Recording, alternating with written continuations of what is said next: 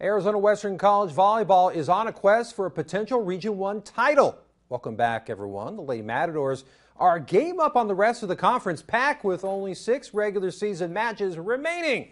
We take you to the house at AWC for tonight's conference matchup as former YC Shamrock Rory Martinez and the Lady Mats playing host to Eastern Arizona. First set tied at five. Annie Montano delivers a bullet of a serve, which turns into an instant ace, giving AW the early lead in the set.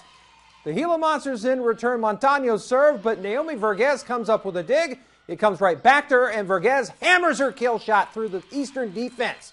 Lady Mats up two. A few plays later, A-Dub on the set. El Centro native Alessandra Ariano sets for Patricia Ricala, whose volley turns into a kill. Lady Mats back up a point. Very next play, Natalia Shalazrinska sets for Pamela Durazo, who puts down a pretty drop volley, extending A-Dub's lead back to two. The Lady Mats would finish out the first set, wind up winning this one in four to stay atop the Region 1 standings.